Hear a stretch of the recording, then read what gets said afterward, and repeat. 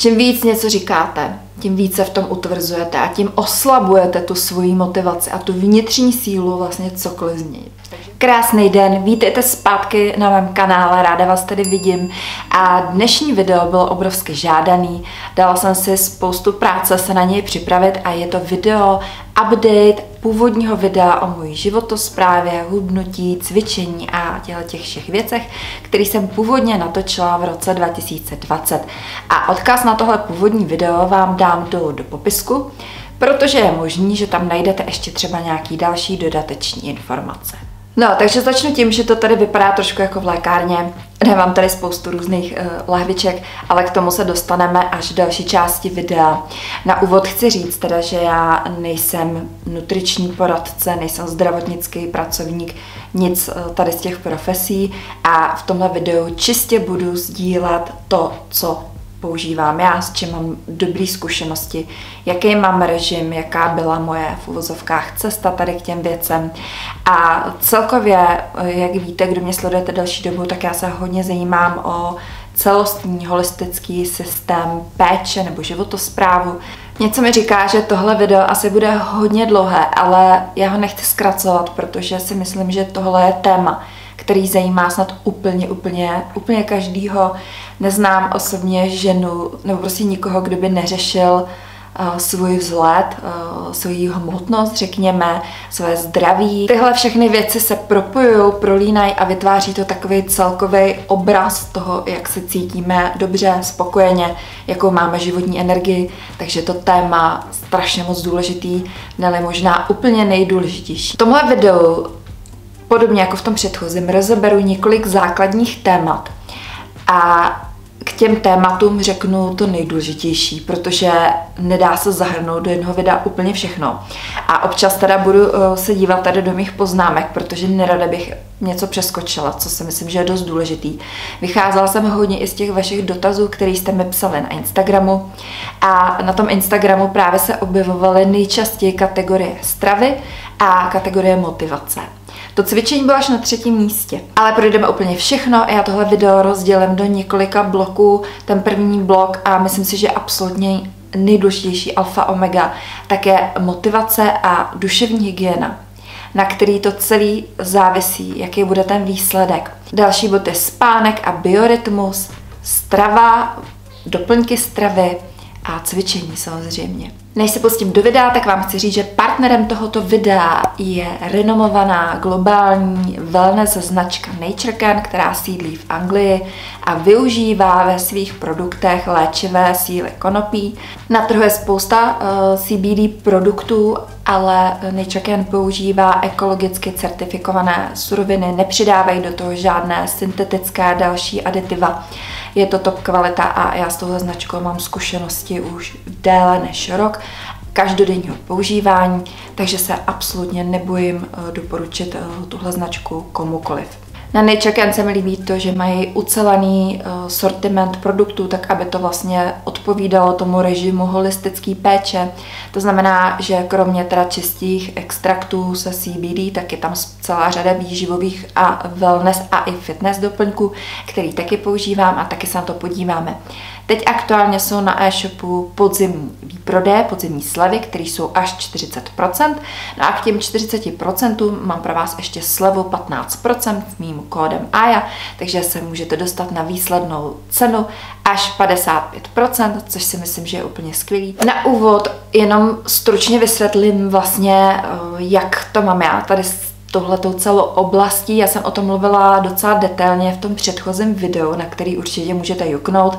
Zkrátka, eh, já jsem somatyp, který je spíš štíhlejší, to znamená, nemám jakoby přirozeně nějaký zpomalený metabolismus nebo sklonik přibývání, ale měla jsem v průběhu života uh, velice jako vážné diagnózy, jako vážnější autoimunitní a jiný, takže jsem uh, musela brát opakovaně extrémně vysoké dávky kortikoidů, mimo jiné a tak dále. A tohle všechno vlastně způsobilo, že trochu se mi jakoby rozhoupal nebo zpomalil ten metabolismus, ale nikdy jsem v životě asi neměla velik, kromě těhotenství třeba velikost větší než 36-38, takže jsem nikdy nebyla ve fázi, jako řekněme, fakt jako nadváhy nebo obezity, to ne, ale uh, mluvím o tom, abyste pochopili vlastně ten kontext. Díky těm zdravotním problémům jsem jednu dobu přestala cvičit ve smyslu cvičení jako kardio nebo běh a podobně. Spíš jsem dělala jenom tu jogu a stretching a vlastně nebylo to ono, protože já opravdu potřebuju kardio a fakt jako mm, intenzivnější cvičení. A v posledních dvou letech eh, se mi podařilo překonat myšlenkový blok, že vlastně díky té nemoci nemůžu, nebo díky těm problémům zdravotní nemůžu uh, cvičit. A uh, více jsem se do toho ponořila a dostala jsem se do formy, která je asi úplně nejlepší jako za celý můj život. Navzdory všemu. A právě proto se odvažuju mluvit o motivaci, protože motivace a síla mysli není jenom nějaký jako ezoblábol, ale zkrátka i vědecky prokázáno, že síla mysli je naprosto určující pro to, čeho dosáhneme a co si myslíme, že je možný a nebo není možný. A bohužel spousta lidí jede na takového autopilota a vlastně automaticky přijímají za svý a utvrzují se neustále v určitých dogmatech uh, typu jsem nemocná, nemůžu cvičit. To byl můj případ, proto o tom mluvím, jo. Nebo už mám určitý věk a proto nemůžu zhubnout, cvičit cokoliv. Nebo uh, máme to geneticky daný jako v rodině. A, a tak dále. A vlastně, čím více člověk tohle opakuje, tak tím víc si tu skutečnost afirmuje, afirmace je potvrzení, no a pak vlastně ty věci všechny se přizpůsobují tomu, co ten člověk si myslí. Protože čím více na něco soustředíme, tím víc toho dostáváme. A proto z mýho pohledu a zkušenosti je klíčový v tomto procesu opravdu si vytvořit určitou vizi, kým se člověk chce stát. A teď nemyslím jenom jako zdravotně a a fyzicky, taky, ale celkově. Prostě jaký člověk chce být jako osoba. Já se snažím o to být jako nejlepší verzí sebe sama. Ne vždycky se mi to daří, ale je to dlouhodobý proces. No a v rámci tedy té vize, tak jsem si vytvořila vizi toho, jak chce na tom být prostě duševně, zdravotně, fyzicky, jakou chci mít hmotnost a spoustu dalších věcí. A teď se dostáváme k té motivaci. Vy vlastně musíte se soustředit už na tu vizi, jako když je to hotový. Prostě považovat to jako za hotovou věc a nespochybňovat to své rozhodnutí. Protože ta mysl může jít vždycky jenom dvěma směry. Buď to pro váš záměr, anebo proti tomu vašemu záměru. A vy, když se neustále kritizujete, že já nevím, ty kalhoty nemůžu zapnout a vlastně čím víc vlastně o tom mluvíte, to je strašně důležitý, co člověk říká. Obrovsky důležitý. Čím víc něco říkáte, tím více v tom utvrzujete a tím oslabujete tu svoji motivaci a tu vnitřní sílu vlastně cokoliv změnit. Takže motivace alfa omega. Nemusí se mnou každý souhlasit, já říkám jenom, co funguje pro mě a věřím, že i pro některý další lidi, který znám. Jednoduše, když myslíte negativně, tak vás to absolutně eh, blokuje. Zlomový okamžik pro většinu lidí je to bytostní rozhodnutí, že prostě už neakceptuju to, abych měla, já nevím, plus 10 kg, plus 5, plus uh, cokoliv. A strašně důležitý je i užívat se ten proces, prostě těšit se na to. A vybrat si to tak, aby vás to bavilo a aby vám to bylo příjemné. Takže i právě tady z toho důvodu, já jsem dřív chodila uh, běhat jako ven, protože jsem si říkala, že zdravý vzduch a ještě vlastně, že to není drahý, že to je jako zadarmo. A samozřejmě záleží na tom, kde člověk žije. Ale já žiju ve velkém městě a vlastně jednou se mi při tom běhu venku dokonce stalo, že mi skoro zajel auto. Pak jsem i vlastně měla i problémy jako respirační, asi z toho jako ovzduší a tak dále. A prostě mi to nevyhovovalo. A tak jsem si říkala, že to nebudu lámat přes koleno, a že začnu chodit do eh, fitka, kde se mi to líbí, kde je to prostě krásný, kde mě to inspiruje, kde mě to baví a kde mi to dává uh, smysl. A vlastně do toho fitka já se strašně těším. Je to takový můj druhý domov, protože do toho fitka chodím pětkrát, šestkrát týdně. Je to fitko, kde je i wellness, takže se zajdu do sauny a už je to opravdu takový můj životní styl. Když se pro něco rozhodnete, tak je strašně důležitý vlastně u těch nových kroků vydržet aspoň 21 dnů. Já vždycky říkám lepší, ale jakoby celý ten uh, měsíční lunární cyklus, těch 28 dnů. A když to vydržíte, tak vlastně z těch myšlenek už se stane zvyk. A když je něco zvyk, tak potom je jednoduchý se toho zvyku držet. Obrovsky důležitou součástí motivace duševní hygiena a mně se nejvíc osvědčila meditace. Já medituju úplně každý den posledních 8, možná už 9 let a používám různé meditační audio nahrávky, které jsou dostupné na YouTube. Uh, už jsem je moc krát i sdílela, ale to tady nebudu asi úplně rozpitvávat, protože pokud člověk je frustrovaný a ve stresu, tak uh, to narušuje všechno v těle, vlastně tu chemickou rovnováhu. A vlivem tady těch emocí se dost člověk často uchyluje uh, přejídání a tak dále. Takže proto to zmiňuji, protože si myslím, že je to opravdu obrovsky důležitý. Když se podíváme na tři hlavní oblasti, které tvoří tu životosprávu, eh, podle mý zkušenosti eh, to rozdělím podle priorit. A úplně nejdůležitější, absolutně pro mě, je spánek. Věřím teda, že pro všechny, ale mluvím za sebe teď v tomhle videu. Takže spánek je priorita číslo jedna protože spánek naprosto je rozhodující pro celkovou imunitu těla, pro regeneraci všeho, pro hormonální rovnováhu, pro biochemickou rovnováhu, pro metabolismus, prostě úplně pro vše, co potřebujeme a samozřejmě duševní zdraví a tak dále. Jo. Samozřejmě asi mě chápete, nebudu úplně, když něco přeskočím, tak asi pochopíte, že jak to myslím. Ale ten spánek je alfa omega. Kvalitu spánku pochopitelně ovlivňuje celá řada faktorů a já se snažím opravdu mít úplně optimální tu spánkovou hygienu, to znamená uh, chodit spát přibližně ve stejný čas, uh, přibližně ve stejný čas vstávat, s tím, že teda jsem jako noční sova, takže chodím spát prostě spíš asi později než většina lidí, ale snažím se opravdu spát minimálně těch 7-8 hodin. Používám už 8 let asi spánkovou aplikaci, která mi vlastně monitoruje ten spánek. Ze zkušenosti můžu říct, že můj spánek je milionkrát lepší po cvičení, což je můj jako jeden z hlavních důvodů, proč teda cvičím hodně, protože ten spánek je úplně, úplně větší, úplně jiný level spánku. Samozřejmě Eh, na srovnání nebo zlepšení kvality spánku, tak používám i různé eh, přírodní preparáty. Jeden z těch nejdůležitějších produktů, který používám už přes rok vlastně na zlepšení spánku, eh, tak je CBD od značky Naturecare. Předtím jsem teda ale používala už něco jiného, takže spíš bych řekla, že opravdu ty dva roky už to používám v kuse, možná trošku delší dobu. To CBD je unikátní v tom, že navozuje rovnováhu homeostázu v organismu která se ale buduje postupně. Trvá to minimálně pár týdnů, než vlastně se ta hladina úplně vyladí. A je dobrý kombinovat různé ty preparáty, protože po těle jsou rozmístěny ty kanabioidní receptory vlastně ve všech sliznicích. A já třeba kombinuju víc těch produktů dohromady. Takže to je bod číslo jedna. Další věc, která může zlepšit eh, kvalitu spánku, tak je melatonin.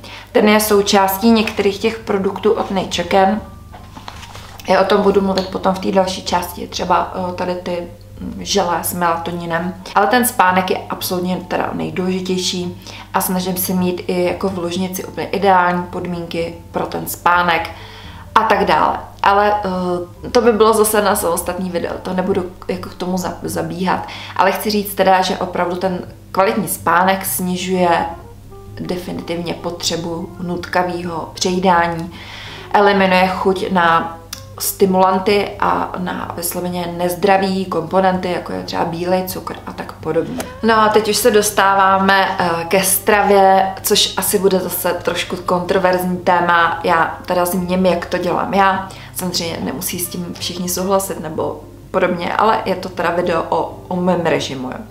Takže, eh, co se týká kalorií, tak já nejsem žádný kalorický fanatik, jo. Je pravda ale, že když jsem chtěla zhubnout třeba 2-3 kila, fakt je ne víc, protože jako to nepotřebuju, ale tak samozřejmě jsem se dívala na to, aby ty kalorie, ten příjem kalorií byl o něco nižší než jejich výdej. To je absolutně logický, to je prostě matematika, tam není jako co dodat, jo. Ale zároveň uh, jsem si vědoma toho, že zase ta síla mysli, o který jsme se bavili, je obrovsky jako důležitá. Protože to vidím u třeba kamarádek, a teď nechci, aby to znělo blbě, který nejsou úplně štíhlí, jo. spíš naopak. A oni vlastně třeba řeší jako ty kalorie a vlastně třeba se dají kus dortu a řeknou, Ježíš Maria, to má kalorii. Ale vlastně se to úplně jako mentálně násobí, jo, že já si ty dorty dám třeba dva nebo tři a vlastně nic to se mnou neudělá, protože absolutně jako tomu nevěnuju vůbec pozornost, vůbec se to nepřipouštím, jo. A neříkám teda, že jen tři zákusky denně, jo. to byl jenom příklad, to asi chápeme. Takže uh, ty kalorie jako začnu hlídat v okamžiku, kdybych měla pocit, že ta váha jde nahoru. A musím říct teda ale, že se vážím úplně každý den. Samozřejmě eh, tu váhu ovlivňují faktory, jako je cyklus. To znamená, že ve fázi před menstruací vždycky tam bude nějaká retence vody, dejme tomu, jo. Ale pokud bych viděla, že vlastně ve fázi, kdy to není jako biologicky odůvoditelný, ta váha jde nahoru, tak ty kalorie eh, stlumím a to ve smyslu, že eliminuju úplně vlastně tu složku sacharidů do, jako snížím teda. Moje zkušenost je ale taková, že opravdu hlad bývá maskovaná žízeň, takže já mám enormní enormně nadprůměrně dobrý pitný režim. Já opravdu piju obrovské množství vody, denně minimálně 2, 2 litry uh, čisté vody, obvykle je to magnézia, ale k tomu ještě piju minimálně další litr nebo litr a půl čaju. Jako vím, že je to fakt hodně, ale mně to prostě funguje. Připadá mi, že tak pleť, taky, že na pleti je to hodně vidět, že prostě nejsou tolik vidět vrázky a podobně, když se pije. A, a, a tak dále, jo. Prostě tělo je z 80% voda, takže vodou prostě nikdy nic neskazíte. Teď, co se týká toho jídla jako takového, tak jim hodně pomalu. A malý porce. A to si myslím, že je největší problém, že lidi prostě jedí obrovský porce velice rychle a tím pádem to celkové množství potravy je potom strašně velký. Takže doporučuji naučit se brát si jako menší porce, a jako vkládat do úst menší porce a mnohem delší dobu je kousat. Tenhle systém vychází i teda z ayurvedy, mimo jiné. Obecně se snažím, aby z 80% eh, převažovala eh, ta zdravá strava ve smyslu hodnotná, nutričně, která má nutriční význam. To znamená, eh, bílkoviny jsou absolutní mazhev, zdravé tuky a vláknina. A zvlášť ta vláknina teda pro mě extrémně důležitá, protože, jak jsem zmiňovala, po kortikoidech prostě nemám úplně v topu tu, ty sliznice zažívací, takže opravdu ta vláknina pro mě úplný jako must have. To znamená, že každý den, úplně každý den mám jako velké množství zeleniny. Já mám tu výhodu, že mi zelenina chutná, miluju třeba papriky a různé ty listové saláty, které jsou taky obrovsky zdraví. Samozřejmě u těch salátů je taky potřeba si vybrat ty správný, protože třeba ledový eh, salát jako nemá ty nutriční hodnoty takový, jako třeba nevím, špenát a tak dále. Nebudu, ale možná udělám nějaký samostatný uh, video třeba o tom jídle. Jo. Takže uh, zelenina a potom uh, teda ty zdraví tuky. A já uh, absolutně jsem milovník oříšku, já jsem opravdu jak veverka a každý den, úplně každý den mám oříšky. A u těch oříšků já jako neřeším množství. Prostě beru si to, co jako na co mám chuť a vůbec tak jako hodně se stravuju intuitivně. No a teď se mi zastavila uh, kamera a mluvila jsem o vlákyně, takže zelenina samozřejmě, uh, zdravé tuky, pochopitelně olivový olej a, a tak dále, že jo, to asi nemá smysl teď tady všechno rozebírat. Co se týká bílkovin, ale já nejím moc maso. Ne, že bych byla vegetarián nebo vegan, ale um, nějak úplně mi to jako nedělá nejlíp a uh, zase na druhou stranu někdy na to maso fakt mám chuť a dám si ho. Navíc teda i můj jako doktor, ke kterému chodím, tak mi jako doporučuje, abych jedla jako tmavý maso a tak dále. Takže uh, maso konzumuju, ale fakt ne moc, moc často, jo, tak třeba jednou za týden. Ale protože fakt potřebuju bílkoviny, tak teda jen hodně vajec, ty vajce se vajce. Vejce se snažím pořizovat teda v co nejlepší kvalitě, to znamená ideálně bio, nikdy ne takový ty od těch slepic v halách, protože mi to úplně teda jako trhá srdce, když vidím, v jakých podmínkách tam ty slepice jsou. Já mám strašně ráda slepice. Takže eh, z volného, z farmářských prostě zdrojů se pořizuju ty vejce. No a potom teda používám, a to úplně každý den piju, také protein. Ty ten protein je obrovsky důležitý i pro pocit zasycení, aspoň teda u mě. A to, co teda miluju nejvíc za protein, eh, tak je eh, Nature Can, vegan protein a miluju tuhletu čokoládovou příchuť. Ono to opravdu chutná jako dezert, vlastně jak tekutá čokoláda a je to hodně sytý. Je to slazeno téví teda, doufám, že to tak je. A ještě eh, je to obohaceno o velice důležité aminokyseliny, které hrají obrovsky důležitou roli potom v tom eh, fitness režimu a dalších věcech. Taky mám ráda tento uh, vanila, a toto je teda obilní protein. Ale musím říct, že to obilí, přestože nemám i jako alergii na lepek, tak ale jsou to potraviny, třeba lepek a laktóza, který mi nedělají dobře. Takže laktózu vlastně třeba v mlíku nemůžu mít vůbec, kupuju si bezlaktózové mléko nebo rostlinné mléko. A co se týká lepku, tak vlastně já vůbec skoro nekonzumuju bílý pečivo nebo sporadicky a spíš teda si kupuju pečivo celozrný, ale v dost malém množství. Že opravdu jako jestli třeba za den skonzumuju jednu nějakou třeba žitnou bulku, tak je to fakt hodně. Někdy ani to ne. Ale na druhou stranu úplně každý den si dávám něco sladkého, Třeba teď jsem šla natáčet a dala jsem si laté a k tomu dva piškoty podlouhlý a čokoládu. Takže jenom abyste viděli, že fakt jako každý den si dám něco sladkého. Párkrát týdně mám školu, kde se dávám vždycky nějaký třeba zákusek a takže vůbec jako neomezuju nebo třeba malou zmrzlinu. A uh, co se týká načasování vlastně toho jídla, tak já jsem dřív hodně držela intermittent fasting a de facto vlastně v tom režimu jsem pořád, i když ne už tak jako striktně. A ráno nemám ráda prostě velký jako jídla, nemám prostě pocit hladu. Takže většinou si dám laté a uh, pak až třeba v 11 uh, nebo později, tak se dám něco jakoby menšího. Takže tam je určitý posun, ale zase nutno dodat, že jim dost pozdě, protože mě vyhovuje chodit cvičit prostě pozdě večer, takže přijdu třeba z fitka v 10, v půl 11 a klidně si dám třeba sír, nebo se dám oříšky, anebo se dám právě uh, ty proteiny, obvykle tady ten čokoládový a konzumuju to teda takhle později. Což nechci k tomu nikoho nabádat, ani netvrdím, že se nemá snídat, nebo prostě popisuju to, co mě vyhovuje a to, co mi funguje a u čeho vidím na sobě teda výsledky. Pitný režim už jsem zmínila, ale chtěla bych říct teda ještě k tomu pitnému režimu, že piju magnézi a potom, kdo mě sledujete, tak na 1000% víte, že uh, každý den piju uh, čaje od Zdislavatý. Není to spolupráce, já si sama kupuju a mě to úplně jako změnilo život zdravotně. Strašně moc věcí se mi pod těch čajích jako zlepšilo.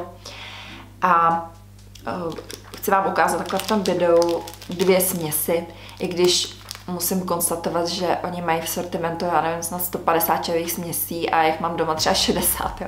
Jakože fakt hodně těch směsí používám, piju to každý den a cokoliv si vyberete, tak je pecka. Takže tady nebudu jako rozebírat ty čaje, ale protože tohle video je o fitness, tak uh, jsem chtěla říct, že teda perfektní je ten čaj fitness ráno a fitness večer.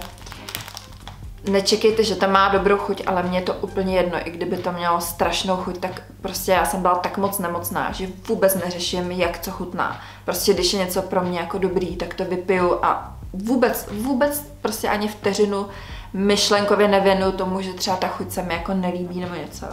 Ale některé ty čaje jsou dobrý teda i chuťově, jo, no dodat. Mám tady teda dvě směsi teď fitness ráno, fitness večer. Výborná ta směs je i hubnutí, to hubnutí mají na den i na noc. A já teda piju tu na den. Ne protože bych chtěla hubnout, ale ono vlastně to obsahuje i chaluhu a krušinu a další byliny, které zrychlí peristaltiku, což je přesně to, co uh, potřebuju. A takže na to můžete juknout, zase dám vám odkaz do infoboxu, ale já vím, že mnoho z vás čep je taky a celý vaše rodiny, protože už se tady o tom bavíme fakt pět let. A teď se pověnuju teda doplňkům stravy, který uh, užívám, protože jich je opravdu hodně. A nechci nikoho přesvědčovat, že jako všechno je nutné nebo není, ale já jsem opravdu tomu věnovala roky zjišťování si informací a tak dále a experimentování na sobě, takže vím, co teda pro mě funguje. Takže, jak jsem už zmiňovala, uh, to, co teda používám pořád, tak je Nature Can CBD extrakt, ty benefity toho CBD jsou, že opravdu navozují v těle homeostázu. To znamená, že to pozitivně ovlivní úplně všechno, hlavně teda psychiku, kvalitu spánku a tím, že jste víc v pohodě, tak z mojí zkušenosti to určitě jakoby eliminuje tu chuť na sladký, protože prostě nemáte žádný jako maskovaný potřeby z důvodu stresu. Tohle třeba je olejček, který už má takovou silnější koncentraci, protože jsem na to zvyklá. To je ten 20%. Co používám od Nature Can, tak jsou prostě já je miluju a je to takový můj každodenní dezert. A uh, to teda i Nikča. Uh, tak jsou teda Nature Can CBD Gummy Bears nebo medvíci teda. A vypadá to takhle. Jsou strašně dobrý, já je úplně miluju. Mívám je i v autě, a je to vlastně další způsob, jak vlastně distribuovat ten CBD extrakt. A uh, večer, třeba po fitku, já nevím, kolem těch desátý, půl jedenáctý, tak si vemu uh, jedno tohleto žele uh, s melatoninem. Když bych byla hodně vystresovaná, nebo kdybych to přehnala s kávou, tak si vemu třeba dva. A ono vlastně se to velice rychle vstřebá právě tady z toho místa pod jazykem. Takže to eh, teda používám. Další, eh, co rozhodně eh, musím mít každý den, tak no možná ještě vám ukážu můj oblíbený další dezert, tak je Nature Can CBD Infused Milk Chocolate a to jsou čokolády. Jedna ta čokoláda má rozumnou velikost na to, aby toho člověk nesnědl moc a je to můj takový jako další dezert ke kafi, ale fakt teda každý den prostě si dám kousek čokolády. Vlastně fakt úplně každý den. Další, co používám, tak uh, je lipozomální vitamin C. Ta lipozomální forma zajišťuje dokonalý vstřebání, že vlastně ta účinná látka se nestratí v tom zažívacím traktu, než doputuje tam, kam má. A uh, nemám v oblíbenou žádnou konkrétní značku, teď tady mám něco, co jsem si pořídila v obchodě se zdravou výživou, ale pozor a C je prostě důležitý pro uh, tvorbu kolagenu a tak dále. Další, co používám, tak uh, teď aktuálně, tak je Nature Can uh, lví hříva, to je houba, která ovlivňuje právě duševní pohodu. A já třeba letošním roce jsem měla fakt hrozný rok a spoustu stresu a takže potřebuju něco extra a pozoruju, že opravdu uh, mi to pomáhá. Kromě toho teda to je úžasně dobrý. Je mi jasný, že někdo mi namítne, že je v tom cukr, ale já, já ten cukr fakt neřeším. Prostě fakt ne. Ne, že bych uh, jako vyhledávala, ale když je v něčem cukr, tak vůbec jako úplně to ignoruju. Prostě nic se jako nemá přehánět, teda z mýho pohledu. Další věc a pro mě teda obrovsky důležitá, zase s ohledem na regeneraci té střevní sliznice, tak je kurkumin. Ten kurkumin předchází zánětu, vlastně eliminuje zánět a taky ovlivňuje ale metabolismus. Takže já teda používám už přes rok nejčeken aktivní kurkumin a buď to mám tenhle ten s vitamínem D3 a nebo micelární CBD a kurkumin. Tyhle ty dva střídám. Řekla bych, že možná trošičku jako větší účinek na, tu, na to zažívání, tak vidím u toho micelárního. Ale uh, super jsou teda oba dva. No a potom ještě používám uh, magnézium. Zase nemám nějaký jako preferovaný, někdy mám takový rozpustní sáčky, které jsou jako na předpis, ale teď tady mám super magnézium chelát. A je fajn, možná ještě třeba objevím něco lepšího.